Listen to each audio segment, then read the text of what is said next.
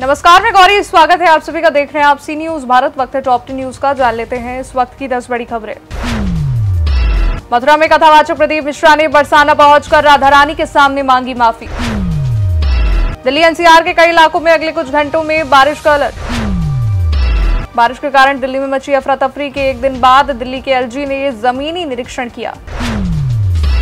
दिल्ली की Rouse Avenue court ने CBI मामले में अरविंद केजरीवाल को 14 दिन की न्यायिक हिरासत में भेजा। नीट लेग गोधरा कोर्ट ने आरोपियों की चार दिन की पुलिस रिमांड मंजूर की।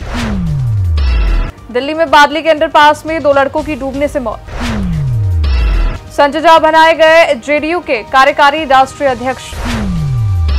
भारी बारिश के कारण राजकोट एयरपोर्ट के बाहर पिकअप और ड्रॉप एरिया में गिरी कैनोपी। लखनऊ में 14 जुलाई को होगी यूपी भाजपा कार्य समिति की बैठक, जेपी नड्डा होंगे शामिल।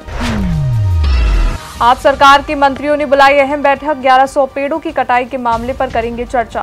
फ़िलहाल के लिए टॉप टेन न्यूज़ में बस इतना ही। देश दुनिया की बड़ी खबरों के लिए आप देखते रहिए सी न्यूज़ भारत।